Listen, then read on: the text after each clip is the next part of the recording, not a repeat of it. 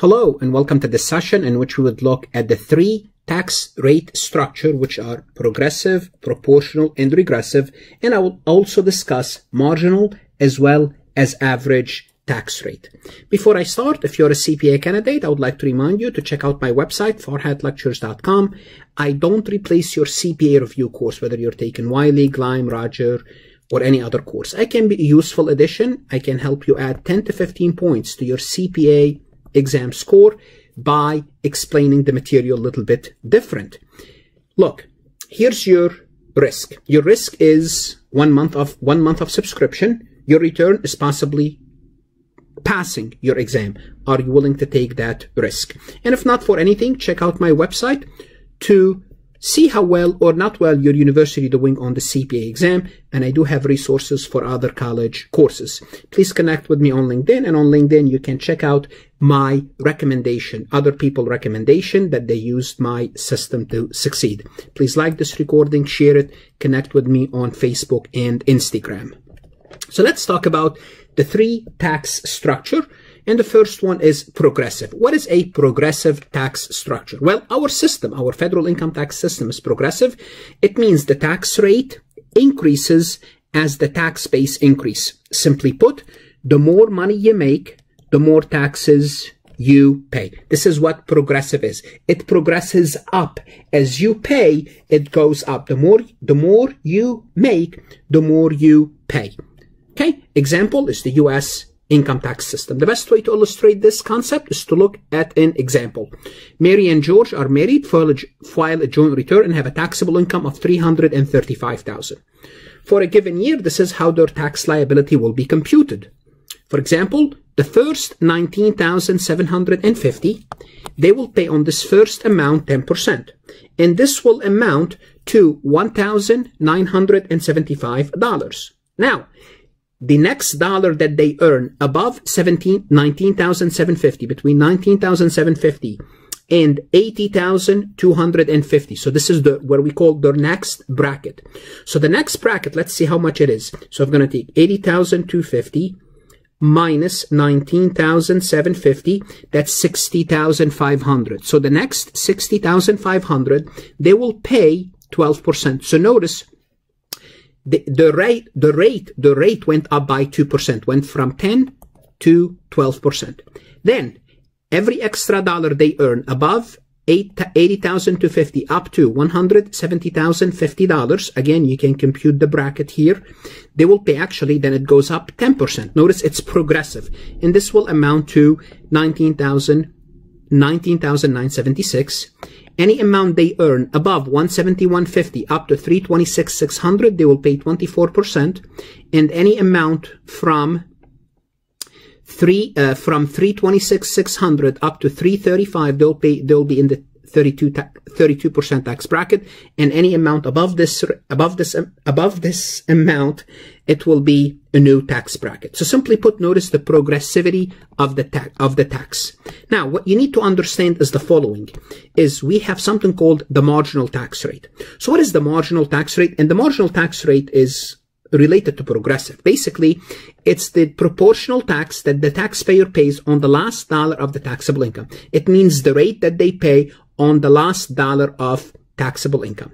So, in this situation, if I ask you, what is the marginal tax rate for Mary and George? Well, what was the rate? What's the proport? We're going to look at the, what proportional means. It means what's the flat tax rate. Proportional means flat. What is the tax rate that they paid on the under their last dollar? And the answer will be 32%. So the last dollar they earned, they pay 32 cent of it in federal tax. This is called the marginal tax rate. Okay. Now, if you make a lot of money, you will be in the marginal tax rate, 32%. We have to differentiate the marginal from the average tax rate. What is the average tax rate? Simply put, how much you paid in total taxes, how much you paid in total taxes. Well, simply put, it's the percentage that a payer pays given a certain amount of taxable income. So, Mary and George, in total, they are responsible for paying $69,231 and they made 335,000. Now we can find what is their what's their average. On average how much they pay for all their taxes. We know they're marginal. We know that they paid on their last dollar 32% that's their marginal. Their average we're going to compute the average now. 69231 divided by 335 and their average tax rate is 20.66%. So if I ask you, what is their average tax rate? You will take how much they paid in total divided by the taxable income. What is their marginal tax rate is 32%. So what happens sometime in the news, they, they kind of confuse you. They, they quote a rate, but they don't tell you whether it's the marginal or the average because always the average is lower than the marginal, the average tax rate. So that's, that's those two terms you need to be familiar with, the difference between marginal and average. Now the next tax uh, tax structure we're going to be looking at is proportional. So proportional. What is proportional? Simply put, it just we just kind of mentioned it. It's a flat. The same the same tax rate is used regardless of how much money you make. So it's for example, 10%, 15%, and whatever you make, $10, $100, 10,000 or 10 million, you'll pay a flat rate. Examples of this will be the state for example, in Pennsylvania, the rate is 3.07 or your local tax rate. For example, my local, my, my, local sale, my local sales taxes, my state tax, sales tax is 6% flat. Also Medicare, which we'll see later, is 2.9%. This is what proportional tax rate is. It, it means it does not change regardless. So if you made a $100 $1,000, if you have a taxable income of 100,000, you'll pay the same rate, whatever that rate is. 6%, 5%. This is what, this is what we called proportional tax rate. And the third tax rate is regressive tax rate. And what is a regressive tax rate? Well, regressive, kind of opposite of the progressive. The tax rate decreases as the tax base increases. So simply put, the more you make, the lower is your tax. That's how it works. It's the kind of thing regressive as the opposite of progressive. Progressive is the more you make, the more you pay. Regressive, the more you make, kind of the less you pay. Now, what could be an example of regressive? Well, Social Security. The Social Security tax is considered a regressive. Now, why is, why is it considered a regressive? Here's why. And we're going to talk about this later on.